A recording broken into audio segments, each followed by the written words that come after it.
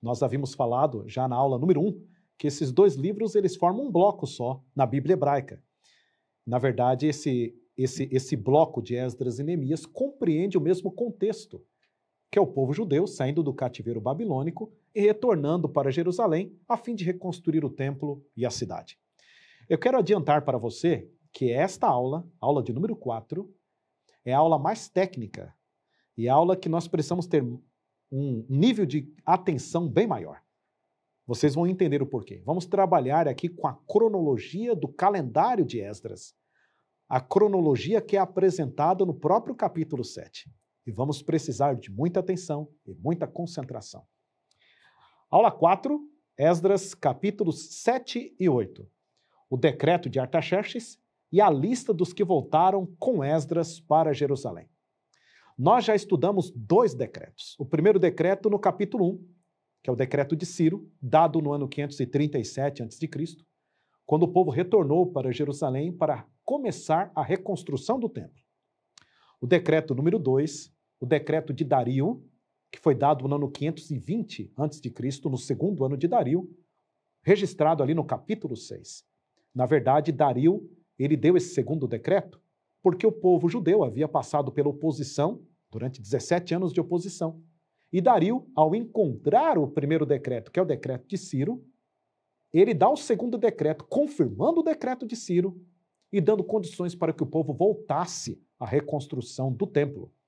Agora estamos diante do terceiro decreto, Esdras, capítulo 7. Se prepare então para o estudo. Cronograma da aula. O decreto de Ataxerxes e sua conexão com os decretos anteriores e com a profecia bíblica, e a viagem de Esdras e a cronologia do decreto. Primeira coisa que temos que fazer é identificar o período, é o contexto histórico, apresentado aí em Esdras capítulo 7, versículo de 1 a 10. Os versos 1 até o versículo 10. O verso 1 e 7, eles estão projetados aqui na tela. Passadas estas coisas, é o versículo 1, no reinado de Ataxerxes, rei da Pérsia. Aí o versículo 7, no sétimo ano do rei Ataxerxes. Então esses dois versículos vão nos dar assim o contexto histórico. O rei é o rei Artaxerxes e o período do capítulo 7 é o sétimo ano deste rei. O que nós temos que fazer é identificar na história qual é o sétimo ano do rei Artaxerxes. Vamos lá. O que aconteceu neste ano?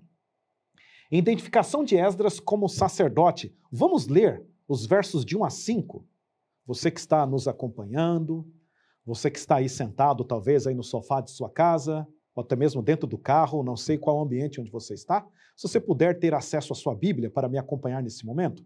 Esdras capítulo 7, versos de 1 a 5, é certo que nós não vamos ler todos os textos, todos os versículos, apenas os principais. Versículo 1. Passadas estas coisas, no reinado de Artaxerxes, rei da Pérsia, Esdras, filho de Seraías, filho de Azarias, filho de Ilquias, verso 2, 3 e 4, ele vai apresentar a sua genealogia. E no verso 5, ele diz assim: Filho de Abisua, filho de Finéias, filho de Eleazar, filho de Arão, o sumo sacerdote. Você percebe que Esdras está remetendo a sua identidade ao sacerdócio levítico. Ele era descendente direto de Arão, o sumo sacerdote. E ele termina o verso 5 de uma forma interessante. Ó. Este Esdras subiu da Babilônia. Vocês se lembram, na aula número 1, que nós falamos de um recurso, um recurso de escrita que eles usavam na época. Esdras tanto usou, tanto usou a primeira pessoa como também a terceira pessoa. Aqui ele está usando o recurso da terceira pessoa. Está falando dele mesmo, mas na terceira pessoa. Este Esdras subiu da Babilônia. É interessante essa ênfase que Esdras está dando sobre ele. Este mesmo Esdras, este Esdras, descendente direto de Arão, sumo sacerdote. Isso nos dá a entender, parece que Esdras estava sofrendo alguma oposição acerca da sua identidade. Talvez alguém, talvez algum grupo estava se opondo a Esdras para que ele não ocupasse aquele cargo, talvez jogando dúvidas a respeito da identidade sacerdotal de Esdras. E é interessante o porquê que Esdras introduz o capítulo dessa maneira, comprovando pela sua linhagem que ele era descendente direto do sumo sacerdote Arão. Esdras era um sacerdote.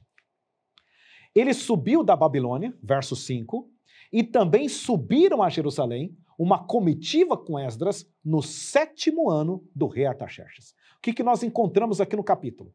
Esdras subindo para de, de, de, de Babilônia, da província da Babilônia, para Jerusalém, não sozinho. Uma comitiva também subiu com Esdras no sétimo ano.